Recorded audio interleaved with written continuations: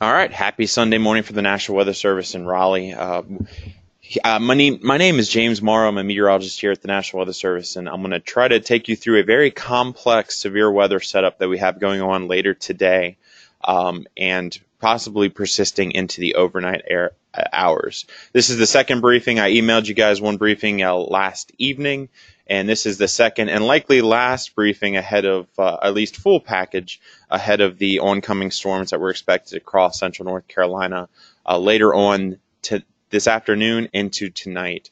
Uh, confidence is increasing as the event nears. However, it is well below average uh, compared to what we normally would be, um, only eight to, uh, well, really six to, to even three hours ahead of some of the first storms popping in to central North Carolina. This is a very complex setup. We're likely going to see anywhere from two to four rounds of storms across portions of central North Carolina. And we'll talk a little bit more about the uncertainties as the uh, event continues and we continue on with our briefing. So this is number two.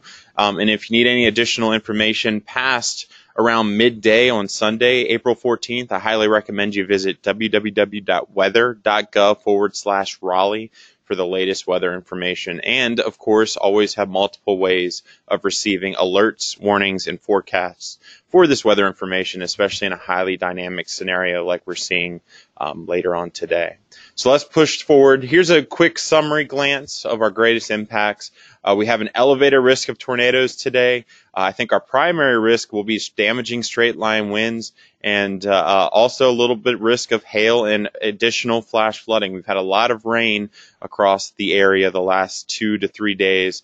Uh, and really the last several months, and that has allowed most of our creeks and streams to respond very fairly rapidly um, as time goes on. So any additional rainfall, especially if you have training thunderstorms, multiple thunderstorms back to back, can cause those creeks that we've seen swollen um, to to uh, crest and, and spill their banks uh, pretty rapidly, especially if you get one to two inches in a short amount of time. So we'll be keeping a close eye on potential flash flooding impacts, but the primary impacts today will be those damaging straight line winds.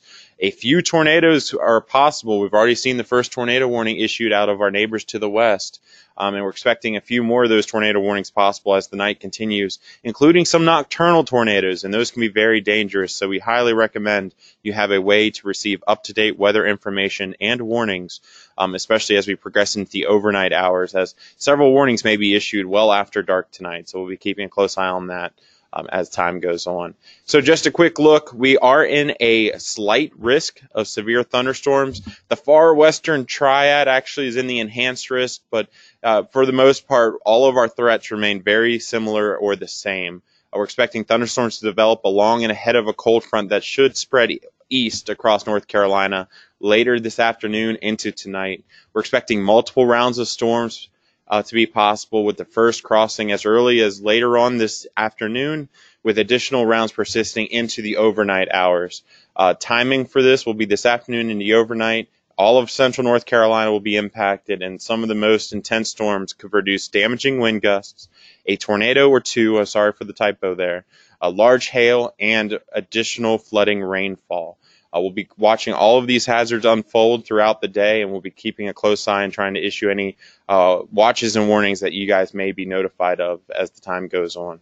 So a few things that we're looking at. Here's the current visible satellite images. You can actually see the cold front that we're expecting to spread storms to the east. This cold front has actually been responsible for a lot of severe weather from Texas all the way through Mississippi and Alabama as of this morning. We're expecting the southeastern United States and the mid-Atlantic United uh, of the United States to get into uh, the action later on today, and that of course includes central North Carolina. We're seeing a few breaks in the clouds, especially along the Sandhills region and the southern Piedmont.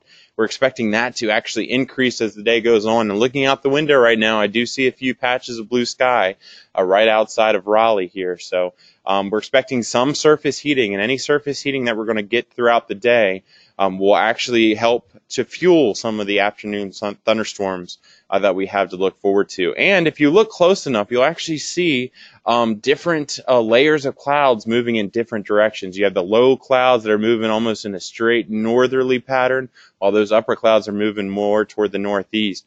Anytime you see see that in the visible satellite images, you know there's some strong winds and some shear aloft. Anytime you have that shear, you have the potential for very strong storms and possibly even tornadoes, especially if that shear is pretty close to the surface. And that's what we're going to see as the day goes on today. So here's a look at the current radar. You'll see a main batch of storms that have kind of pushed just west of our area. Here's the outline of our forecast area, at least the western extent. Um, so right now those storms are moving just west of the triad. That trend should continue, but along this same boundary, we're expecting some additional development. You can already see some hints of it just below Hickory, North Carolina here. And that may be the first, um, at least western Piedmont um, threat for some strong storms later on this afternoon. And that main threat will be between 1 and 3 p.m. for that line of storms. But we do have additional development well to our south. We'll be paying close attention, especially for some of these southern storms now approaching Atlanta, uh, Macon, Georgia. We'll see how those progress as they push north and east as the primary line comes through a bit later tonight.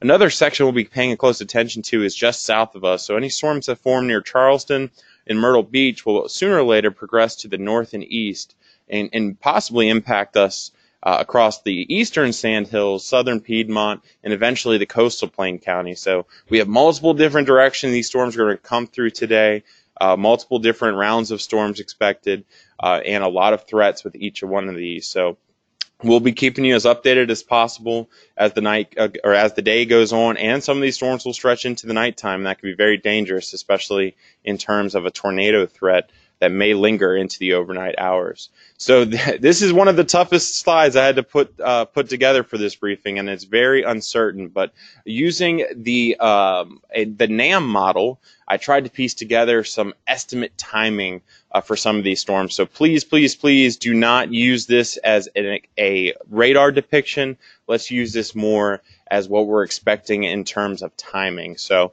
we're expecting that early batch. You remember that batch we saw forming just west of the triad?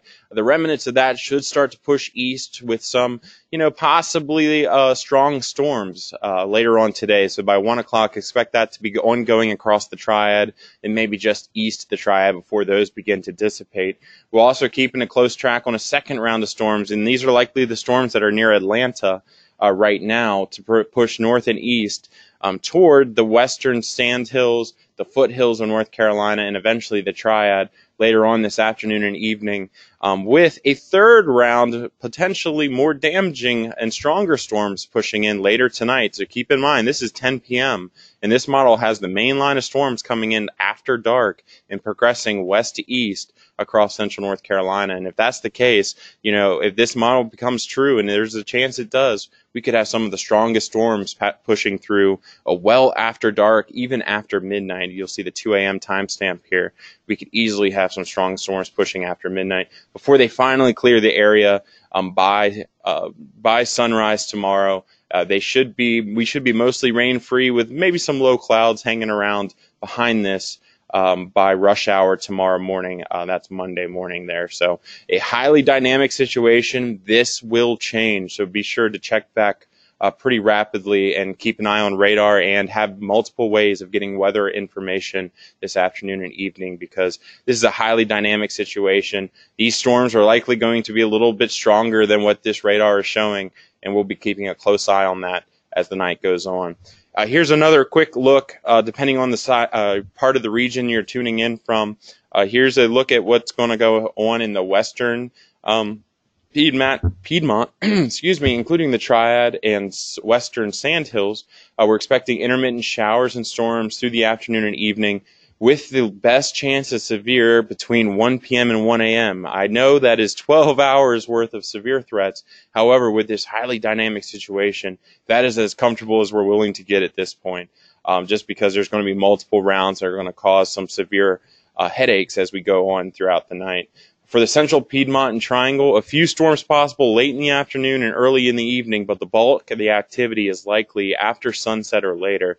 So we've pinpointed a 3 o'clock p.m. to 3 a.m. time frame for your best severe threat here.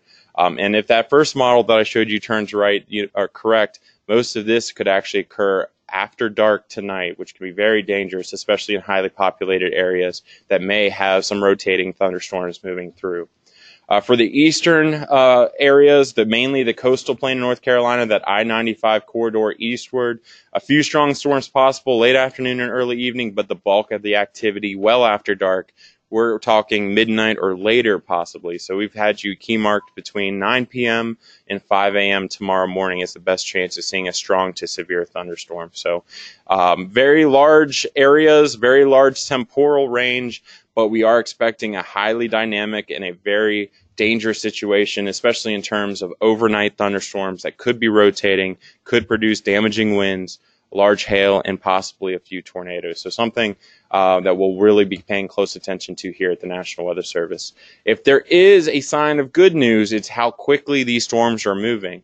Uh, because of how fast they're moving, we're only expecting anywhere from a quarter to a half inch on average of rainfall. And for those of you across the northern triangle or the triad regions, that's a welcome relief because we've had several inches of rainfall in the last 48 to 72 hours, and, and we really can't hold any more up that way. So we'll be paying close attention to any storms that decide to take the same track over specific areas. But for the most part, we're expecting those storms to be ra- fat, rather fast moving and any flooding that does occur should remain isolated uh, up to this point. We also have some river flooding ongoing, so if you're um, sensitive to any rivers, uh, be sure to tune into our website, www.weather.gov, and select the Rivers and Hydrology tab, and that'll have the latest information for you there. On the bright side, after all of this is said and done, so we're talking by rush hour tomorrow morning, we should really have um, some clearing conditions, calm conditions, and a period of dry weather settling in for the middle of the week. And that is going to be a breath of fresh air for many of us across central North Carolina. And we're talking anywhere from three to five days uh, of, of pretty quiet weather, with the next threat of some active weather, including some severe storms arriving by next weekend. So we could easily be on a similar conference call as early as next Friday or Saturday talking about some strong storms as the next area low pressure tracks across the country and begins to threaten parts of North Carolina. Just a couple of safety information uh, slides for you guys. Nighttime tornadoes are responsible for nearly 75% of all tornado fatalities in the state. Uh, this is based on a study from 1950 to 2014. Um, and while nighttime tornadoes only account for 39% of the events, almost 75% of the fatalities in, um, in North Carolina due to due to tornadoes occur when those tornadoes uh, from those uh, nocturnal type tornadoes. Um, so this is a very dangerous situation um, whenever there's a tornado warning issued after dark. Uh, and we highly recommend you have a safe place to go. Uh, you have power. Uh, you have a NOAA weather radio that is powered and charge. So you want both power from uh, your wall and also a battery backup just in case your power does go out. You want to charge up your cell phone before you go to sleep tonight and have your audio turned on. That WEA alert will not do you any good if your audio is turned off or you uh, put your cell phone in sleep mode. Uh, ensure your cell phone has emergency notifications and alerts enabled and be ready to move to a safe place fast. If you don't if you don't already have a safe place, know where you're going to go in case a tornado warning is issued um, and have multiple ways of getting that warning. Um, and that warning alone could be the reason you or your loved ones or your family or your constituents' lives are being saved. So be sure to have that. And if you want more information, go to weather.gov slash safety or go to weather.gov slash WEA.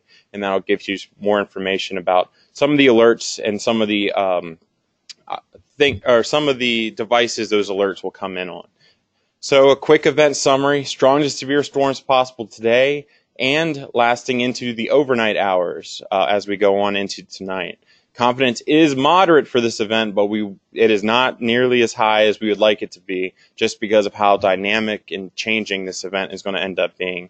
Uh, period of greatest impact will be this afternoon through tonight, with damaging winds as your primary threat, flash flooding possible in any training thunderstorms, a tornado or two possible, uh, large hail and dangerous cloud to ground lightning expected within the strongest storms. Um, this will be the last scheduled briefing. We'll keep sending you guys updates via the email uh, briefing as needed. And of course, be sure to tune back into our website at www.weather.gov forward slash RAH. Um, our social media accounts will be updated periodically through the event. And as always, feel free to send us an email or give us a phone call if you need direct support or information. I will take a period of questions here. Uh, so if you have it, feel free to send a question in the questions box. Otherwise, uh, I will be sure to post this and send the briefing out um, as soon as possible, as soon as we end this call. And uh, thanks for tuning in, and I hope you have a safe and happy Sunday.